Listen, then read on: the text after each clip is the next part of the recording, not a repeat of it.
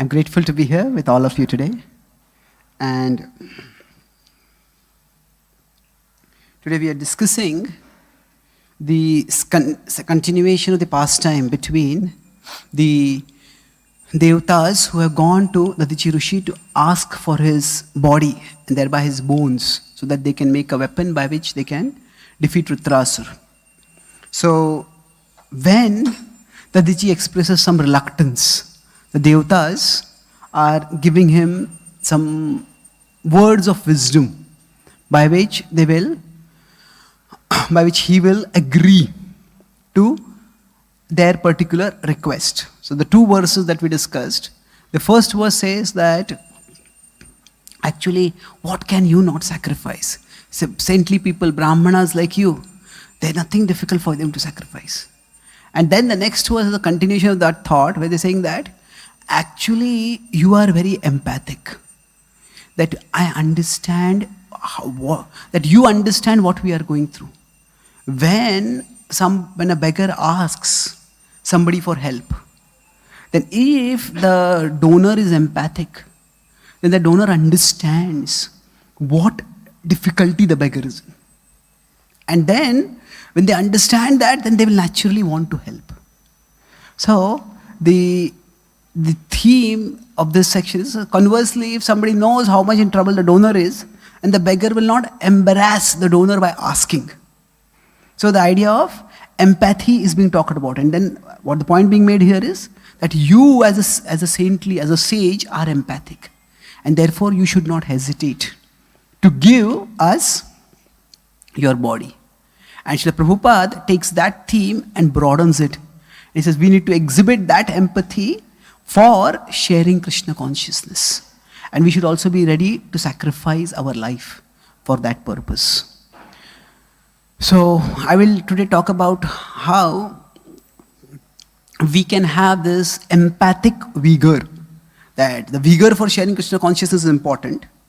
That vigor provides a sacrifice. Sacrifice so that we can share Krishna consciousness. And the theme is that we don't just want the vigor, but we also want empathic.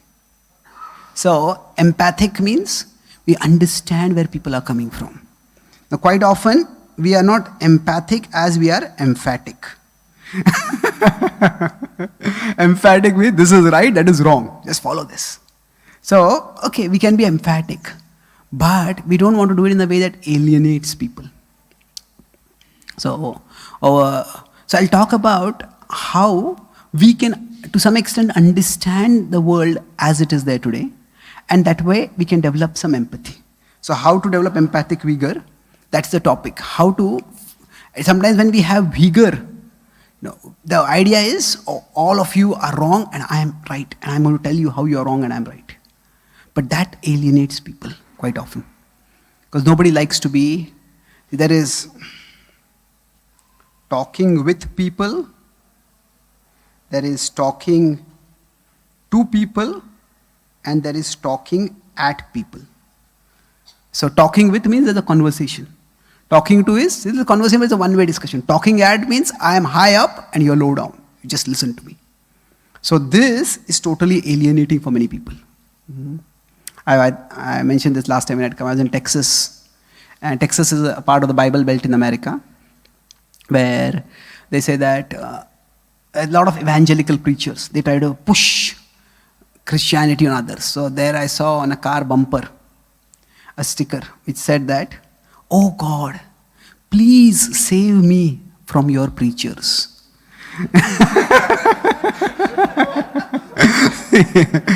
the normal idea is that God saves us through his preachers. But if the preachers are holier, than thou, condescending, looking down at everyone, then people say, I don't want anything to do with such people. Oh God, please save me from them. So that should not happen. There are people who consider ISKCON to be the evangelical version of Hinduism, where people come, we sometimes come up as pushy. Now, of course, everybody needs a little bit of a push. But if we understand where they're coming from, then the pushing can be done a little more effectively. So, now why there is lack of God consciousness in today's world? If we understand that, then we will talk about how that lack of God consciousness can be countered. So, to develop this empathic vigor, I'll talk about four points today. And I'll talk of four causes of lack of God consciousness. So, broadly, I'm going three points. First point I'll talk about is empathy. Why empathy is needed. The second point I'll talk about causes of lack of God consciousness. Hmm? And then lastly, um, how countering those causes. How can we counter those causes? So I'll, this class will be a little analytical, but I'll try to make it as simple as possible. So I'll use an acronym DARN. DARN is a politer version of damn. Damn it, darn it.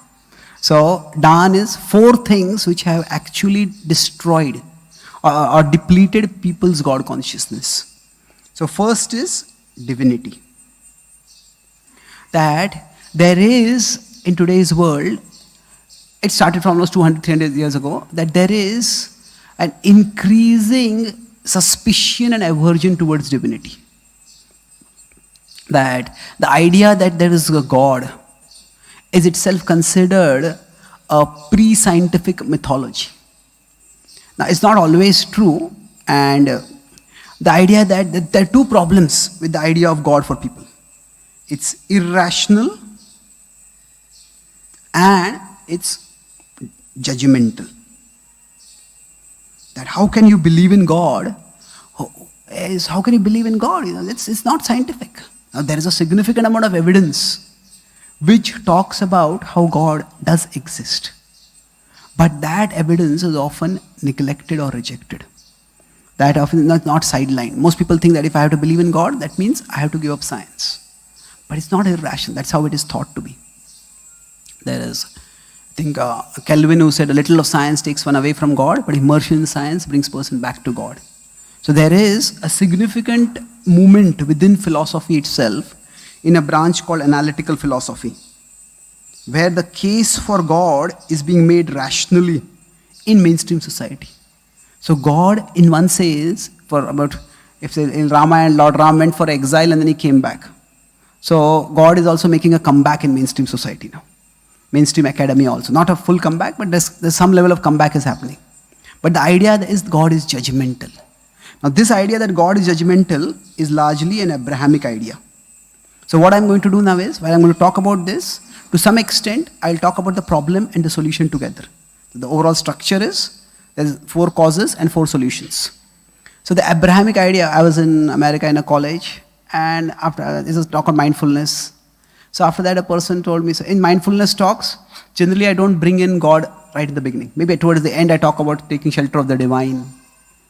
So somehow God has become an unpopular word. If you use God, people don't like it, but you can use divinity, divine, source. Uh, in Star Wars, there is the force. So may the force be with you. So Bhakti Marg Maharaj is a contemporary preacher. He says that when I talk with people, may the source be with you. so he plays on those words. Hmm? So, but anyway, so we talk about divinity. So after this one, this boy said, I don't believe in God. I said, okay, which God you don't, don't do you not believe in? What do you mean? Says, you said you don't believe in God. What is the conception of the God that you don't believe in?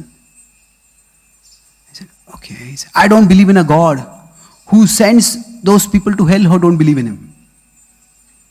I said, I also don't believe in such a God.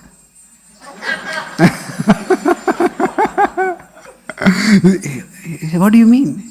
He said that, see, there is a fundamental difference between the idea of hell and who goes to hell. In the Abrahamic traditions, Abrahamic traditions basically means those traditions which accept Abraham as a founding prophet. So that is Judaism, Christianity, Islam. So hell is for non believers. Hmm? But in the Vedic tradition, hell is for wrongdoers, not non believers. Non believers means those who don't believe in God. Krishna says, Those who don't believe in God, me, will not come to me. Mrityu samsara vartamani. They will stay in this material existence. But if they go to hell, it is not because of their disbelief in God. It is because of their wrong actions due to karma, krodha, and lobha. So the idea is Krishna as a God is not, is happy if there is, we believe in him, we love him, we attain him. But he's not sending wrongdoers to hell. Sorry, he's not sending just non-believer to hell. If an atheist is living a relatively sattvic life, that means they have regulated habits. They, there are atheists also who are vegetarian. So, they, so if they're living, living life sattvically, then they will not be condemned. According to sattvic lifestyle, they will get appropriate destination. So the point is, this idea of a judgmental God who punishes, say the idea is they talk about God loves you so much. How much? If you don't believe in Him, He will send you to hell forever.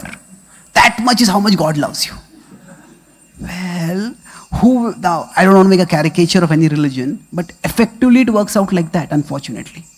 So the idea is if people have to choose between such an idea of God and atheism, most people will, most thoughtful people will end up choosing atheism.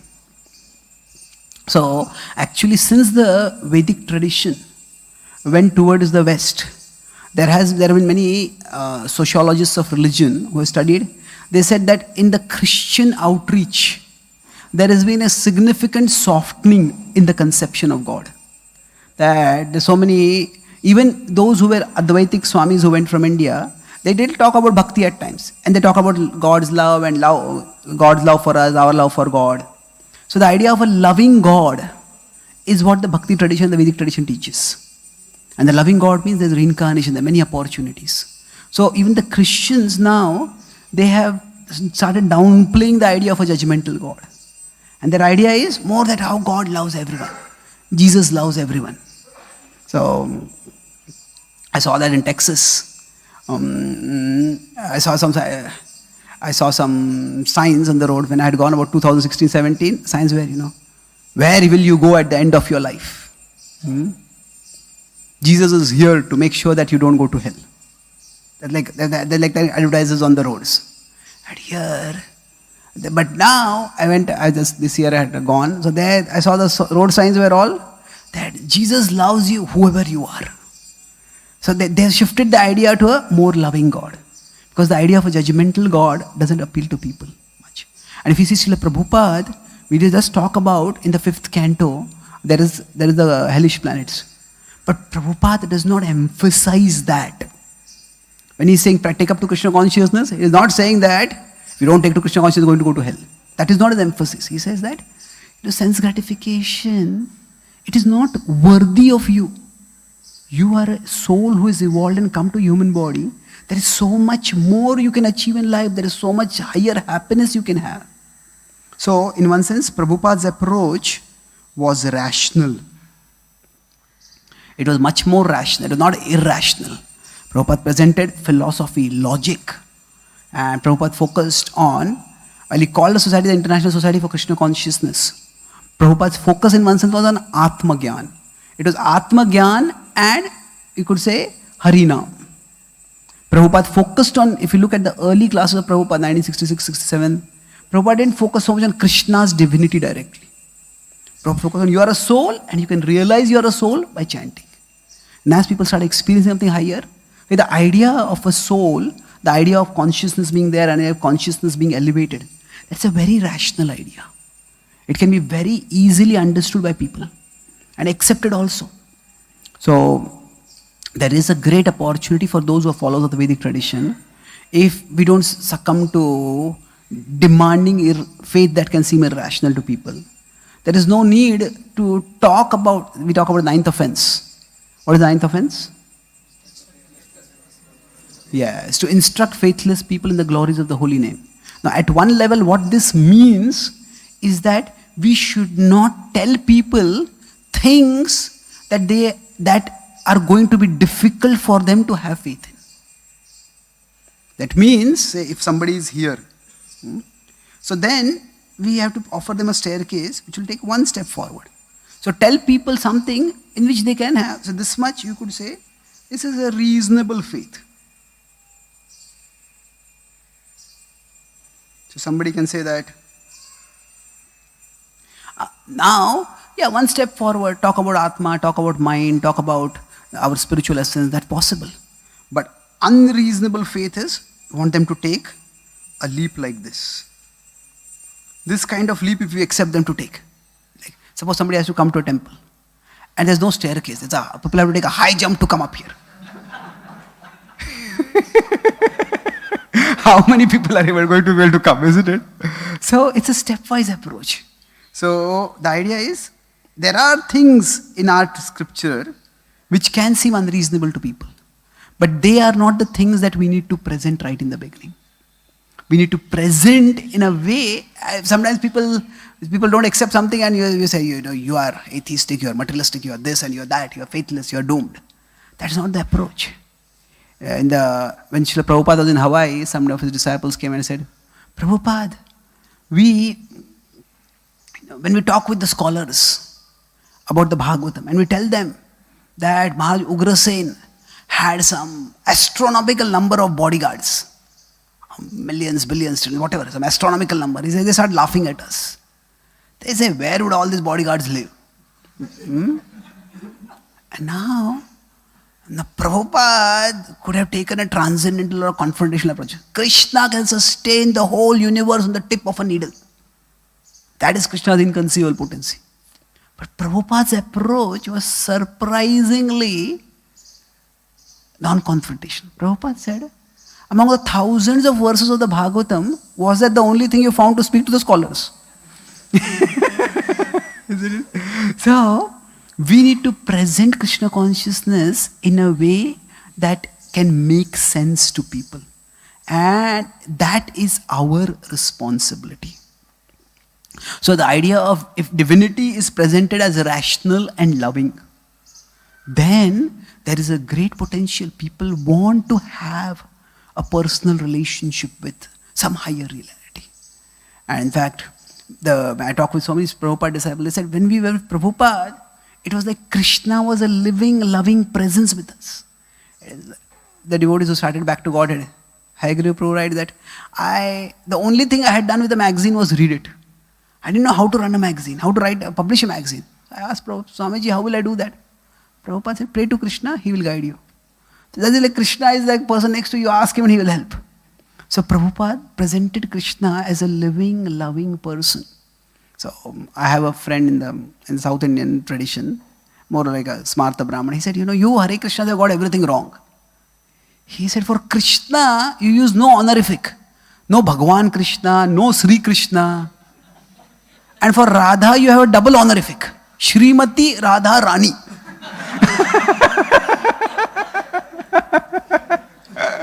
so, why don't you have any honorific for Krishna? Don't you respect Krishna?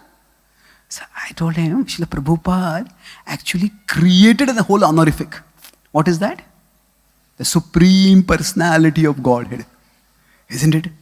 And Prabhupada, the Krishna book, Krishna, the supreme personality of Godhead. So Prabhupada did create an honorific. But Prabhupada also wanted us to have a personal relationship with the divine. And it, Prabhupada had a personal relationship with the Lord, and Prabhupada wanted us to have. That's why when we talk about Krishna, it's almost, it may seem disrespectful, but it's not disrespectful as it is intimate. Hmm? As it is an intimate personal relationship.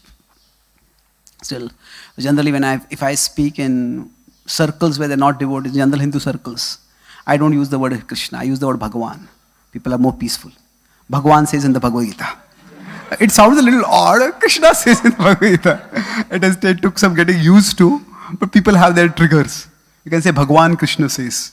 But it just seems like a mouthful, isn't it? But the point is, so then I said, you know, Radharani has been trivialized because of the under, understanding, because of the Parkiyaras and other things. And Prabhupada wanted to us to have a respectful conception of Radharani. Not that that love is immoral. And that's why he uses that double honorific. So, um, Vishwanath Thakur doesn't use that. Bhaktivinoda Thakur also doesn't use that. Sri Radha uses. Bhaktivinoda Thakur uses Sri Radha. But Prabhupada especially wanted to preserve or establish or uh, uh, emphasize the sanctity of Srimati Radharani. But the point is that if we present the divine divinity as rational and loving, there is a lot of opportunity for raising human consciousness, for attracting people towards God consciousness. So that's a D. What is the acronym? Okay, I don't want you to repeat it. okay. A is authority. See, basically, there has been a significant erosion of faith in authority in the Western world. And there are reasons for that. In India, there was monarchy. Now, kings were there, but kings to some extent, to varying degrees of conformity, they followed Raj Dharma. Kings considered it a responsibility to take care of their citizens. Now, not all kings took care of their citizens equally well, but in the West, the example was not of monarchy, they call it monarchy, but it was more of autocracy. It was more of dictatorship, where the kings often exploited citizens. So, kings abused their power. There's an infamous incident where I think Louis XVI was.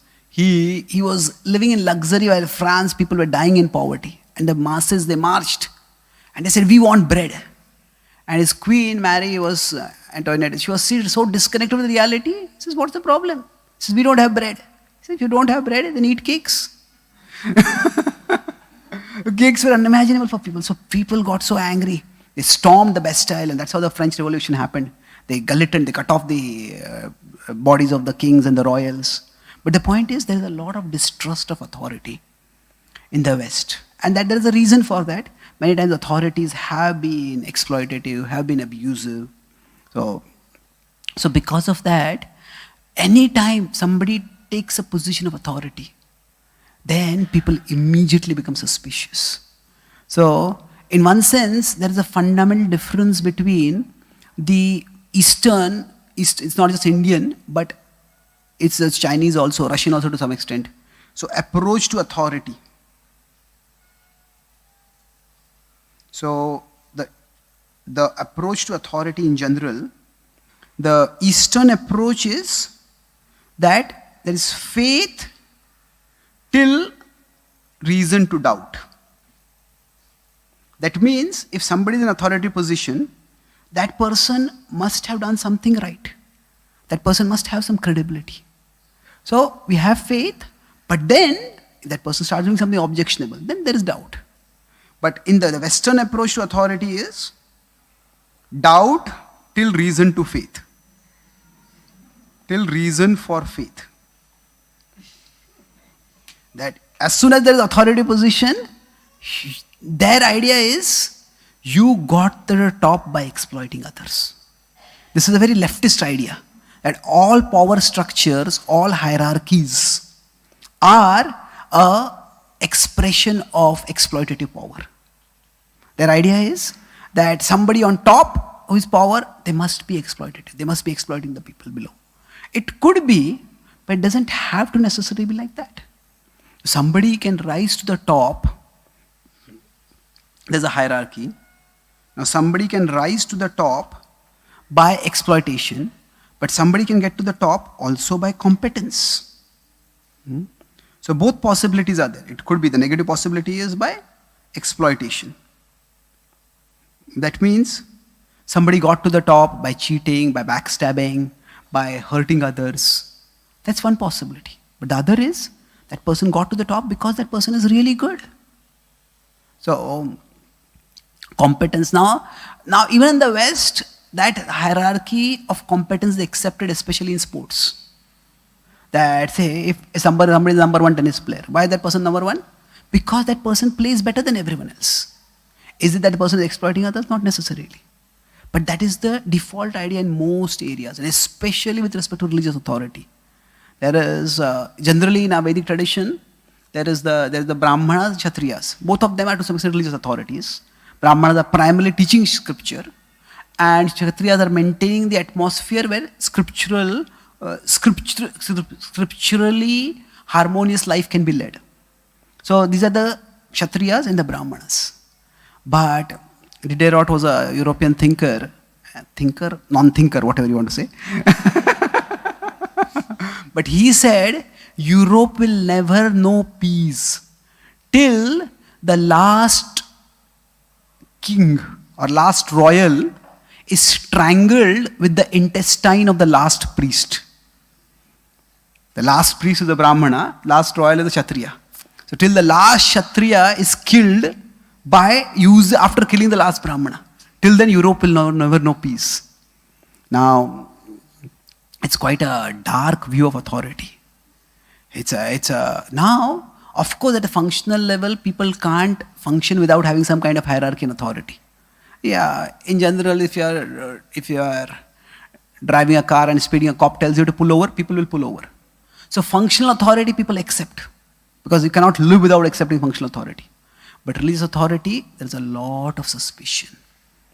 That is why, generally speaking, while there is a, while there is an interest in spirituality in the West, see, people are interested in spiritual leaders, not in religious organizations, not in heads of religious organizations.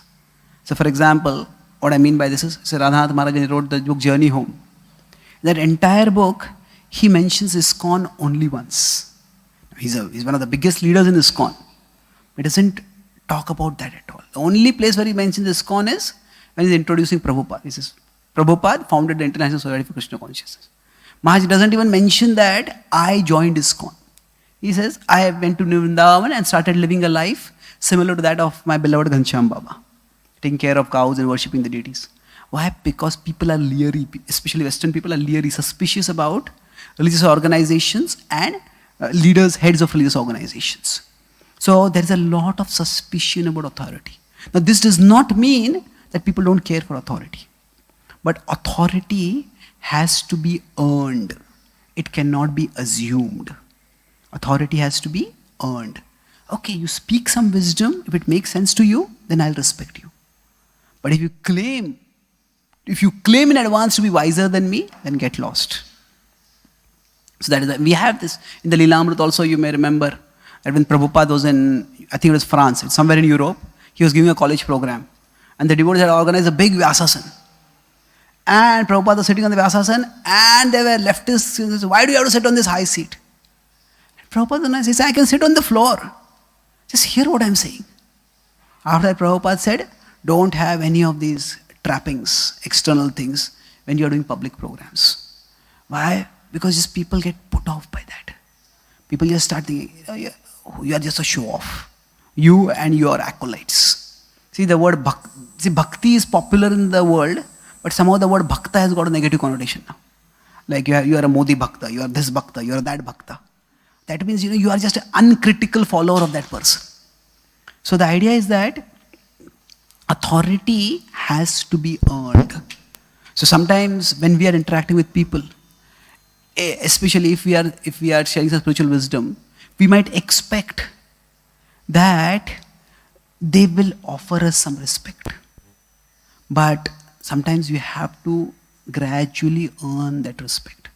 If we don't assume that, but we act in a way that is respectable. When Prabhupada went to America, there's nobody, Prabhupada, nobody was respected in him. He's just a strange looking person come from India. But Prabhupada earned the respect. Prabhupada didn't, there was no facility possible, but Prabhupada didn't expect also that I'm a great acharya and all of you should come and respect me. So when our presentation comes off as very authoritarian, see there's a difference between authoritarian and authoritative. Can anyone say what is the difference? Oh, really? Oh, okay. So we depend on some other authority now. okay, but anyway, authoritarian and authoritative. So, is there any difference? Can you say what is the difference?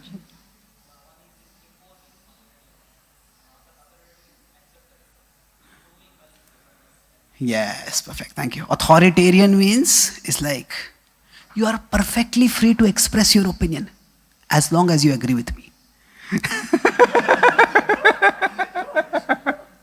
so that is my way or the highway. Hmm, that's authoritarian. But the authoritative means, okay, this is this is this is this is where I come from, this is what I say, and these are the reasons why I say it. One can quote scripture, one can quote logic, whatever the appropriate source of authority, that person uses that. So, in general, we need to be authoritative, not authoritarian. So, quite often, when we quote authority, which authority do we quote? That is also important.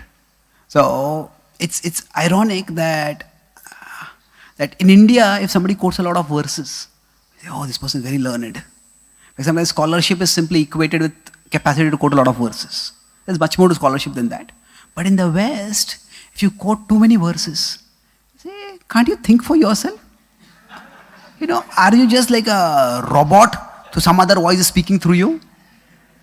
So, so generally,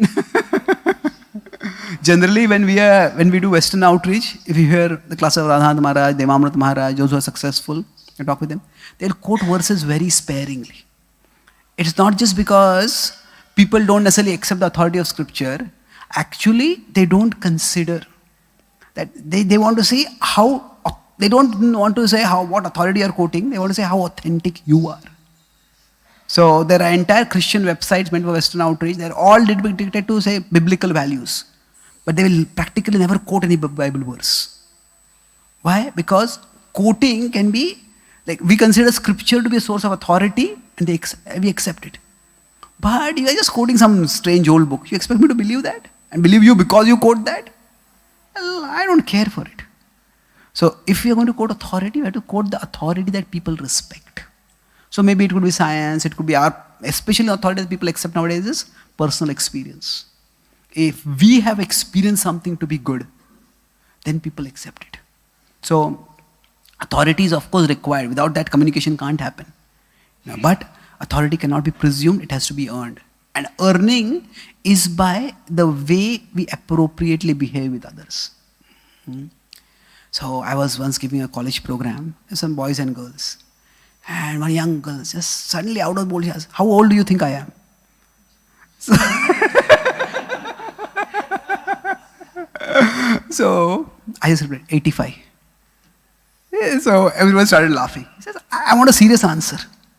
So I said, if you seriously think that I'm going to seriously answer this question, there's something seriously wrong with your understanding of how seriously foolish I am.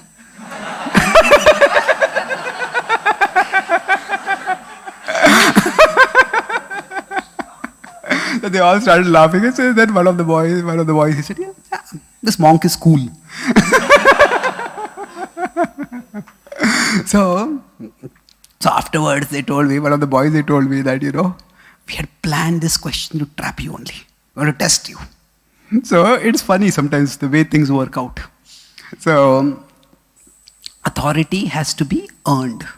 It cannot just be presumed. Mm.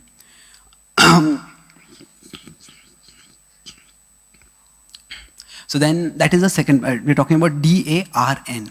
R is religion.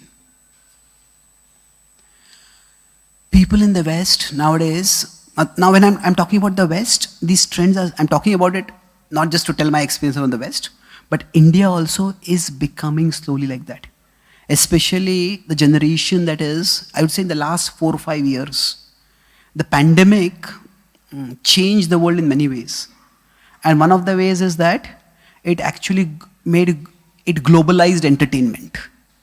That means Indians would normally watch Bollywood movies but now, among the top 10 grossers, top 10 movies which are popular in India, only two or three are Bollywood movies. Some are Hollywood movies, some are here, some are there. There are TV series from uh, Korea that has become popular in India. There's a video game from this part of the world, that part of the world. So along with this kind of entertainment, those values also come in. And that's why, especially if we want to reach out to the younger generation, then we need to be aware where they are coming from. So it's almost like the younger generation here, see those people who go to the West, they also see the negative side of the West. There is a lot of positive in the West. In terms of material facility, the positive is there. But there's a lot of negative there. A lot of loneliness, a lot of alienation, a lot of isolation is there in the Western world. Mm. But what happens is when we see, in India, we see the West, we see only the rosy side of it, without the dark side of it. So in that sense, it's even more uh, it can be even more tempting and uh, disorienting for people. So the third R is religion. Many people, they just don't care for religion. In America, as well as several European countries, when there is a census, uh, when people ask to, what is, what is your religion? If they ask. So they have various religious options, and at the end they have one more, none. None means not N-U-N, none. It is, the, it is N-O-N-E, none. it is not a female monk. It is, I don't care for any religion at all. So their typical idea is, this school of thought is called as apatheism. Not atheism, but apatheism. That I just don't care whether God exists or not. Their idea is you religious people, you fight whether about the nature of God who exists in another world and you create trouble in this world.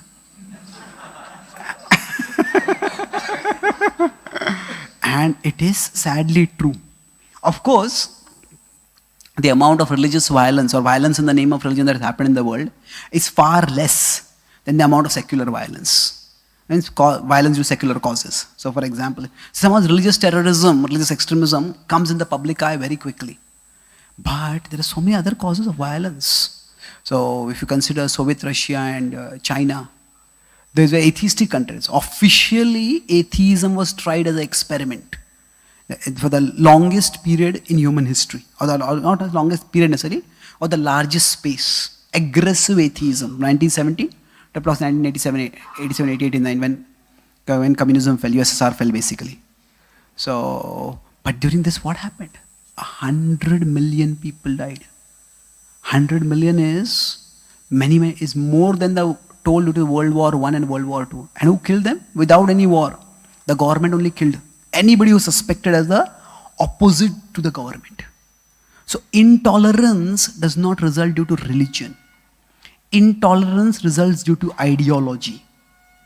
And whenever any ideology a person gets indoctrinated by. So the ideology, when we talk about intolerance, often the cause is thought as religion. Now religion can be one cause, but actual cause is ideology. More specifically, you can say ideological indoctrination. Ideological, when a person is indoctrinated, you, you just this is the right thing, everything apart from this is wrong. Now, this can occur because of religion, but it can also uh, occur because of secular ideologies. So, Marxism was a secular ideology, it officially rejected God. But their idea was that anybody who is the enemy of the state, should be ruthlessly punished and killed. And people believed that. And there are people, you know, inside a family, inside a home, if one person speaks something against the state, then another family member will rat them out, tell the state. And the state will come and take that family member and put them in jail or execute them. And this person who ratted out, ratted out means, you know, tell, uh, tell, uh, reveal a secret to some everybody else. We ratted out a family member, that person would be specially awarded by the state. Just see, his devotion to the state is greater than his family. This is the kind of citizens we want. So, this was a horrible extremism. So the point is that somehow the history of communism, the dark and ghastly history of communism has been whitewashed. And the wherever religious extremism is there, that comes in. So the point is that religion is often seen as a source of conflict, as a source of negativity. And that is hardly true. Inspired by religion all over the world, people do so much charitable work. But when we talk about religion, now there is there are two things in religion. Ultimately, it has an otherworldly purpose. Otherworldly purpose means religion is, the practice of religion are meant to take us from this world to the other world. Hmm? But religion also has this worldly value. That religion, or by religion, meaning certain religious practices, certain religious culture, all this can benefit people in this world also. And to the extent we can demonstrate that. Now, we don't want to say this is all that religion offers. But to the extent we can demonstrate that, to that extent, we can actually reach out to people. So, for example, the purpose of chanting Hare Krishna is to develop love for Krishna. But for a person who is new, that person doesn't even believe in Krishna, then why would that person want to develop love for Krishna? Isn't it?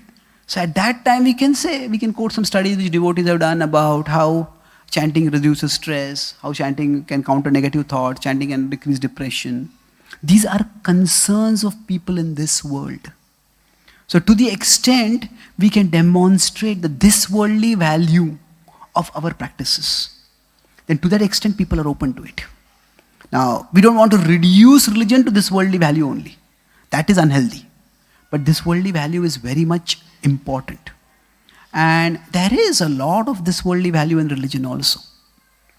So, to the extent we demonstrate that, it could be especially with respect to talking about mental health problems.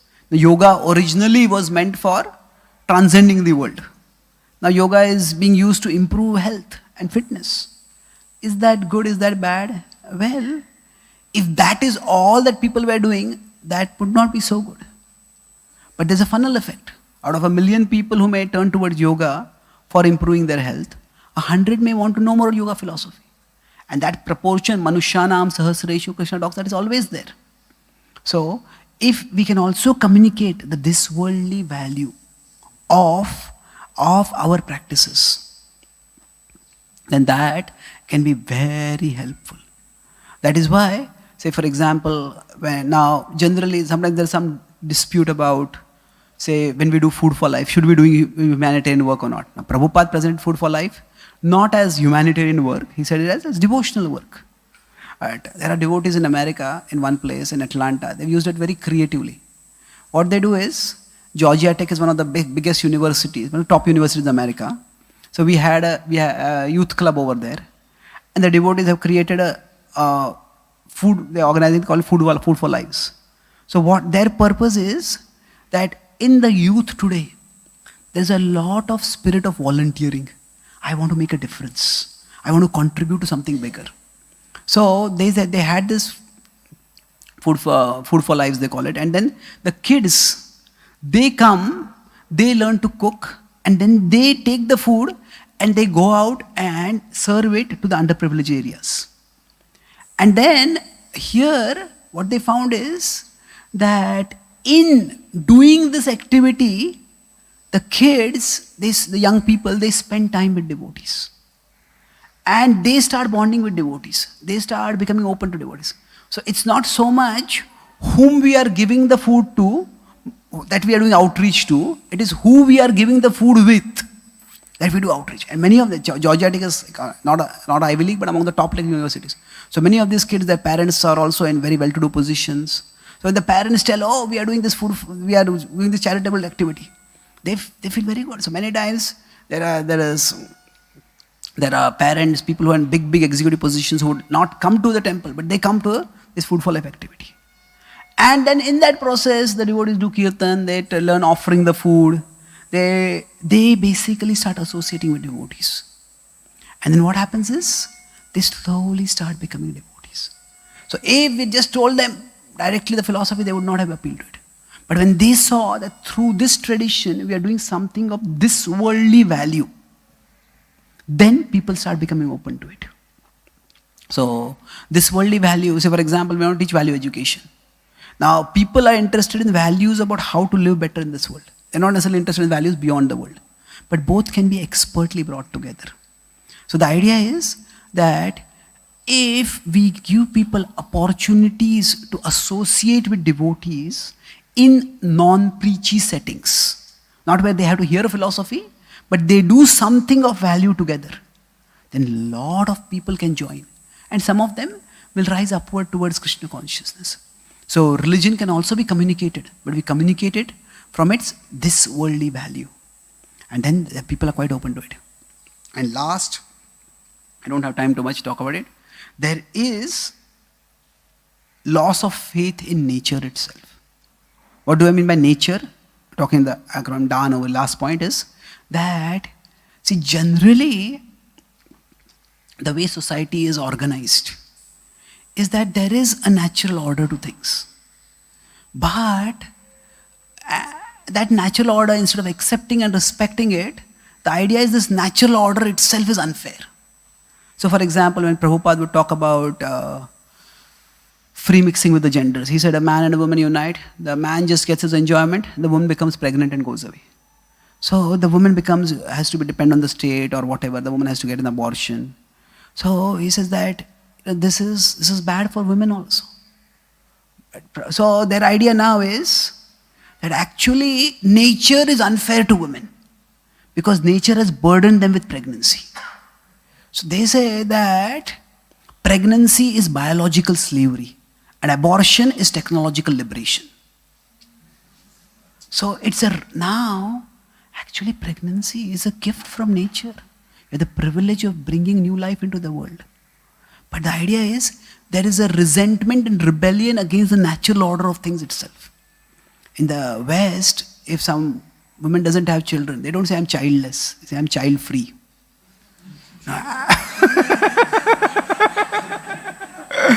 it's such a terrible way of looking at things. Now, of course, if somebody doesn't have a child, we don't want to make them feel bad about it. But the idea is like a child is simply a nuisance and I want to be free from it. But then eventually what happens? There is a natural order, there's a natural way of functioning. That's how humanity has survived for millennia. And many people who don't do, who prioritize their career over their over having a family, by the time they become 40, 45, they start feeling very empty and lonely in their lives.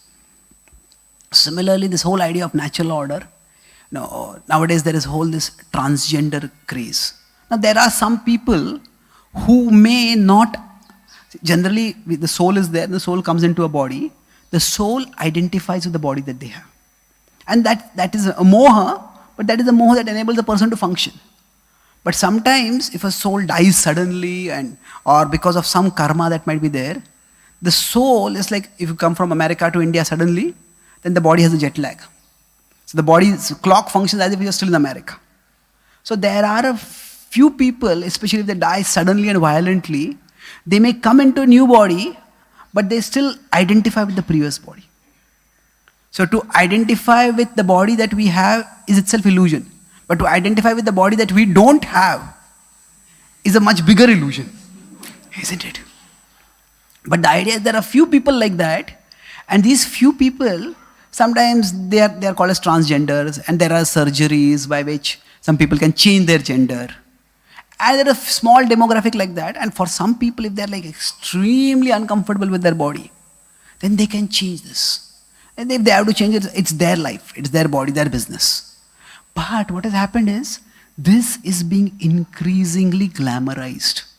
I recently came to that. India also there was a TV series by a prominent heroine uh, who said that you know she was uh, she was born a boy, but I always felt like a girl, and then she does surgery and becomes a girl and all those things. And he's such a hero. She was she fought against the bigotry of society. So she hailed as the champion of the transgender community. But here, what is happening is, at one level, everybody feels uncomfortable with their body, isn't it? Everybody feels I'm too tall, I'm too short, I'm too fat, I'm too thin, I'm too fair, I'm too dark, I'm too this, I'm too that. Who is there who can say I'm perfectly comfortable and happy with my body? No one is there like that. So the degree, so the difference is more a matter of degree than category. So degree, some people may feel more comfortable, uncomfortable, some people may feel uncomfortable. But their idea is it's a category. And what happens is rebellion against nature itself. So the idea is that there are there are uh, many there are people who just do this change of gender quite indiscriminately. And there are books written about it. There's one Abigail Shrier, she wrote a book about our lost our lost daughters. So especially girls are taught that you are just equal to boys in all ways. And yes, still maybe 8, 9, 10, you know, girls can play with boys. A girl can even beat up a boy. But after 10, when puberty hits, boys just have a growth spurt. And girls don't have a similar growth spurt. So what happens is that at that time girls start feeling very insecure. And then such girls are told, hey, maybe you know I would be better off as a boy. And then do surgery. They give them hormones to stop, uh, stop the female hormones, to start the uh, male hormones. And then it's, there are cases of people who grow up and then at the age of maybe 18, 19, 20, they feel, you know, maybe I should not have changed my gender. Now they have to do a second surgery. And that you change the body organs, you cannot play with the body like that. So it's what is happening is horrible. It's a tragedy. And then what has happened is this is seen as the right of the minority community. And anybody who opposes this is a bigot. Is a bigot. You know, there's one devotee in Canada. It, uh, one of his close friends, an American friend, this happened to his daughter. This boy, this devotee became so alarmed, just packed up and he came back from. I said, came back from Canada to India. He said, I don't want this to happen to my daughter. Now here, what happens is children are also told that your parents are bigots. They will not understand you. So children are given the right to do irreversible surgeries even without informing their parents. What to speak of taking consent? So it's horrible. I'm not saying this is happening everywhere, and there's a significant pushback even in America because the people have a basic level of sanity. But this is happening, and the way it is happening, it's even worse. As transgender has become a right, there are men who claim to be women, and they do transgender surgery and after doing transgender surgery, there are men who have entered into women's sports. And they clear have a they have a clear physical advantage. So there are men who have entered into women's sports and they've just know, they're in swimming. There are there is a man who became a claimed to be a woman, and he said that it's my right now to participate in girls' sports. And there are girls who participate in lifelong, preparing lifelong, and just easily defeated by the boy. And if the girls say that, you know, this boy should not be participating, they say, you are a bigot. You know, it's, at least till now, it has not come in contact sports. You know, in swimming, people are competing. But if a boy who claims to be a girl starts boxing with a girl, oh, it could lead to irreparable damage. So, there is significant opposition to this. Now, see, there is, as so the point I'm making is that there is a rejection of nature itself. And that is not sustainable. And there is a, pushback in the West also. But the problem is that from the perspective of Abrahamic religions, uh, they, they, have, they have the idea of only one life. And they say if you are having some gender identity, then which is different from the normal, they, they just have no explanation for it. Why did God make you like that? And they say, eh, you, you're not like that, it's just your imagination. Well, our philosophy has an explanation for that. And okay, it is, okay, if you feel uncomfortable with your body, it's because your soul is identifying with the previous body. Now, that does not mean that you should change, change your gender. Just as, the, just as the previous body was temporary, even this body is temporary. Learn to seek a purpose bigger than this body, bigger than simply seeking bodily gratification. So, where making full sense of reality our philosophy has a lot to offer. And if rather than simply condemning things like this, just rejecting people who have who are concerned about such ideas, because just say this is all this is Kali Yuga and it's all dark. It it is. But there is a logic to why people think like that. There's a tragic logic. It's a rather than simply singing these people as as sinful or fallen or terrible, we see them as misled. And if we see it that way, then even such people, uh, such people, those who are those are extreme activists, we can never reach out to them. Those who are activists in the sense that those are campaigners for this. But there's a large number of people who are rational, who are looking for sensible, compassionate explanations. If we give that, there is so much opportunity for sharing Krishna Bhakti in a way that can reach a large number of people. So Krishna consciousness, what Prabhupada says, it can deliver the world. But it has to be, to deliver the world, it has to be delivered properly. So to the extent we can deliver it in a compassionate, empathic way, to that extent we can actually contribute to raising both individual and global consciousness. So I'll summarize. I talked today, first three points mainly. I talked about empathy. When we are doing outreach, just as the sages they're saying, oh sage, you are empathic and you understand our suffering, therefore you'll give charity to us. So we also need to cultivate empathy in our outreach to others. And then with respect to that, we talked about four broad points. Why consciousness has gone down, human consciousness, and how it can be raised. What was the D, what was it? Divinity. So how people believe God to be irrational and judgmental. So when this can we present God rationally and we present God as a loving person who cares for us, That's what the Bhakti tradition is all about. That's what Prabhupada did. If you do that, it's a lot of appeal. And third was authority. That people suspect authority. But authority, instead of assuming authority and condemning people who don't respect authority, instead of that, we earn authority by our behavior, by our not being authoritarian but authoritative, by quoting the appropriate sense of authority. Then people are seeking wisdom, people are seeking, there's openness, but it has to be present appropriate. Then R was religion. So when people see religion as a cause of conflict, then they just completely put out of it. But if they can see religion's this worldly value, how your practices can make, can improve this world. That's not our ultimate purpose, but as a starting point, if we do that, then we can actually reach out to a lot of people. And the last was nature. So DARN was the acronym I use. So there's a rebellion against nature, whether it is the difference between the male-female genders, or there's a difference, the idea that I, I just don't accept the kind of body that I have in. But if in all these cases, the problem is there's a rebe rebellion against, in one sense, bodily limitations. And the idea is we will remove these bodily limitations through technology. The body limitation of pregnancy will remove through abortion. Body limitation of my particular gender, I'll remove through surgery. But instead of that, if we talk to people about their higher identity. If you want a better life, yes, you can have it. Not necessarily by changing the body or its limitations, but by realizing that you have an identity beyond the body. So through this, as darkness is spreading, there is also spreading the opportunity to share light. And it's our responsibility to share that light as, as compassionately as possible. Thank you very much. Hare Krishna.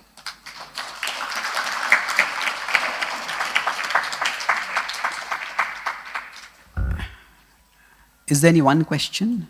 We'll stop with that. Yes. Swaminathan.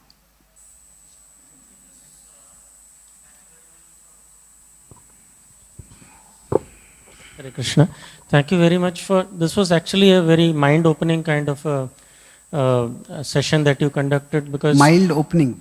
Yeah, mind opening. Okay. Mind opening because uh, hmm. uh, there were many many things that we didn't know uh, which uh, could be an obstacle in our empathy towards others.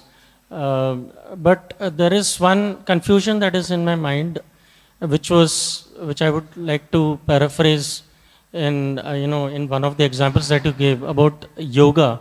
How yoga is today, it's perhaps almost impossible to reinstate the pristine glory of yoga. It's practically now treated by everyone as a health uh, booster or some way in which we can correct our health problems. Similarly, when we introduce religion uh, in order to uh, you know prevent it from being rejected completely, when we talk about the you know uh, other worldly purpose and the, and then we introduce it as this worldly values, then there is a risk. There is a risk in all kind of bridge preaching, but especially in this, when it goes too much into this worldly uh, you know values, then we may struggle to introduce the other worldly purpose as today we are struggling with redefining yoga as something as connecting the humans with the divine. So how do we balance that? Okay. Uh, it's it it. Uh, Good I, point. I, we may struggle with that. Good point. Yeah. So uh, as far as yoga being used for this mundane purposes, you know, one of the popular books on yoga in the West is Yoga for Better Sex. And that is the Yanisha Sarva Bhutan. I mean, it's just the complete opposite purpose of yoga, isn't it? But uh, okay, that, that's unfortunate. But I have spoken at many. So what you're saying is is it true? It's a hazard. But I have spoken at many many yoga studios in the West. Mm. I find that people who come to yoga studios, they many of them are contemplative. Mm. See, even if somebody wants to improve, say, their health or their fitness or their looks, whatever it is. It's completely bodily if they want to improve that. We could say this purpose is rajasic. Okay? It's, it's just I want to I want to look better so I can attract a better partner or whatever. But they could pursue this by sattvic, rajasic or tamasic means. isn't it? So a tamasic means would be they could just pump their body with chemicals. They could just botox and other things. And sometimes people try to lose weight, and they have, they start taking some th- treatments for that, which are they're not treatments actually. They're mistreatments. But they they could do it in tamasic way. They could do it in rajasic way, where some people just say to improve their health, they subject themselves to like very heavy workouts. Now, exercise is good, no doubt, but very heavy workouts. There's a, there's a quite a popular South Indian star who got a heart attack while he was doing HIIT kind of exercise. And he died. You know, the body is meant to do exercise, but when people try to do too much heavy exercise just for the purpose of losing weight, they can sometimes lead to bodily malfunction. So, as compared to other means, yoga is relatively a sattvic means. The purpose may be rajasic, but the means that they are adopting is sattvic. And just the mode of doing yoga, you know, trying to sit peacefully, regulate your breath, that brings some level of sattva guna. And yes, for some people, gradually, uh, they will, as they do this sattvically, as they do adopt the sattvic method, gradually start rethinking their rajasic goals also. So it will happen gradually, but it is happening. A lot of people are interested in, in yoga philosophy, yoga wisdom. So people need to experience this worldly benefits, then they will look for other worldly benefits also. So I would say a majority of our Western outreach that is happening today is through the yoga circle only. It is. That's where we are able to attract Western people. So, uh, is it a bad thing? Well, it depends. I would say that in terms of raising human consciousness, broadly speaking, is yoga leading to people misunderstanding yoga or is yoga leading to people raising their consciousness? My understanding, at least to some level, people are coming to Sattva People are also appreciating India because the World Yoga Day is still in the West. Somehow, the way the narrative has gone is that everything good from India comes from Buddhism, everything bad from India comes from Hinduism.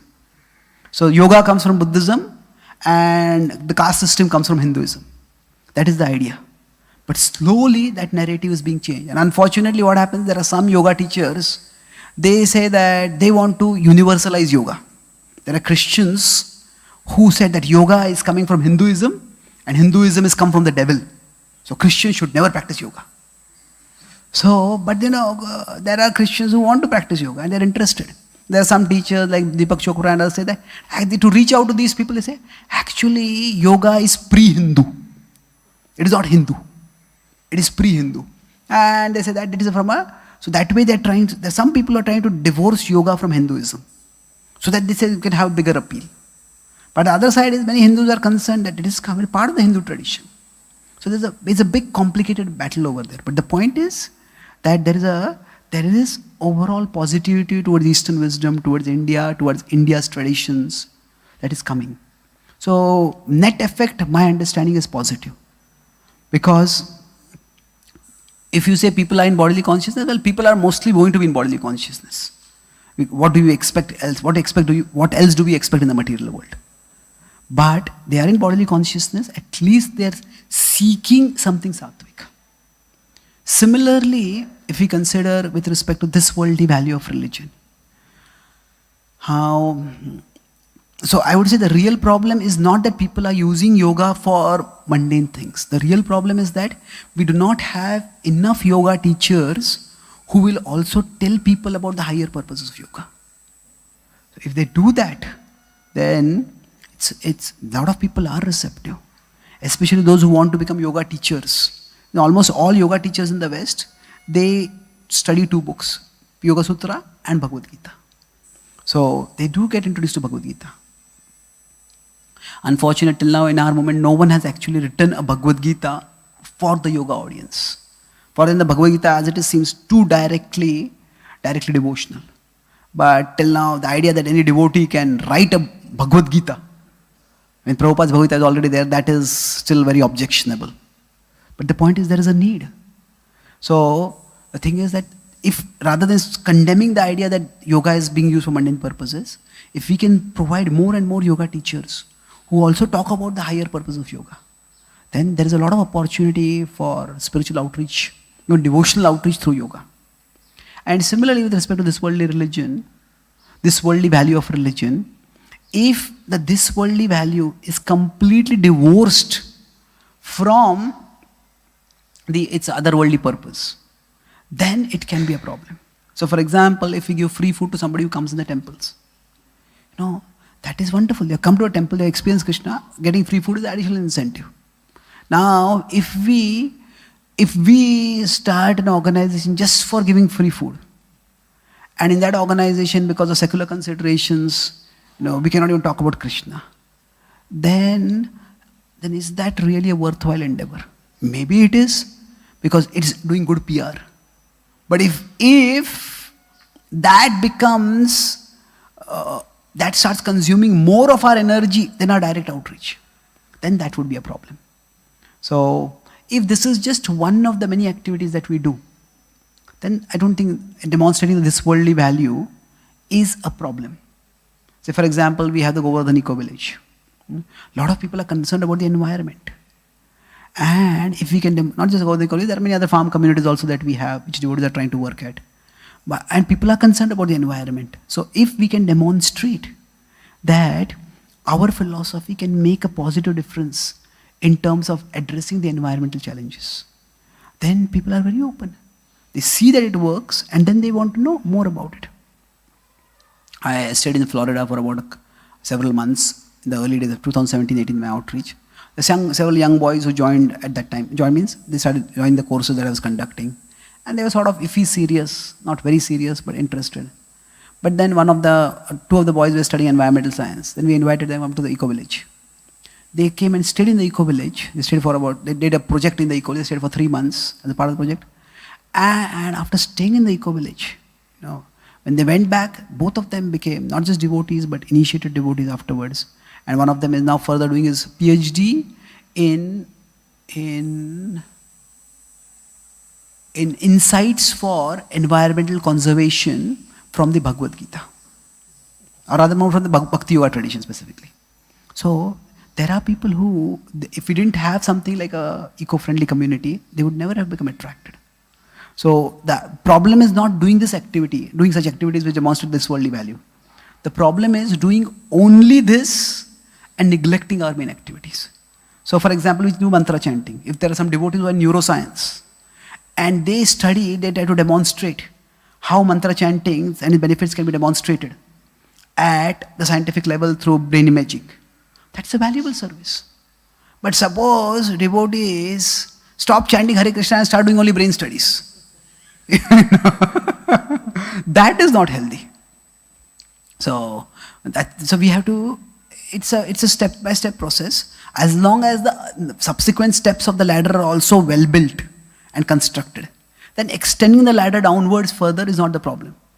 But if we get so caught in building the lower steps of the ladder that there's no upper steps of the ladder, then that is where it's a problem.